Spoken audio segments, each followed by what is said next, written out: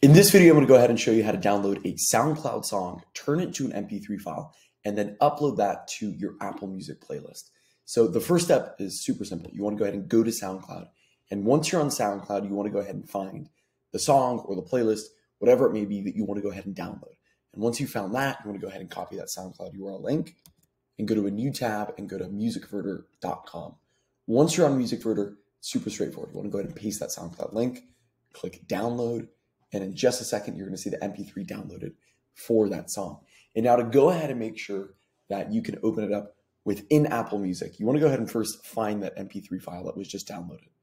And you can see it right here. On a Mac, I'm going to go ahead and click Command I to open up the file's contents.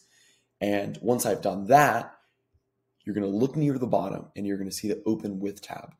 Basically, what this is saying is anytime that I open up a MP3 file on this laptop, I want it to open up with this program.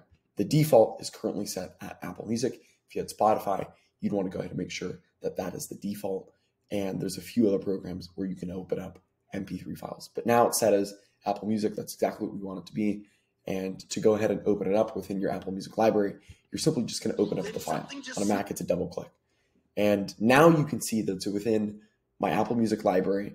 And to go ahead and add it to a playlist, all that you want to go ahead and do is click the three dots right here, click add to playlist, and then add it to whatever playlist you want to go ahead and add it to.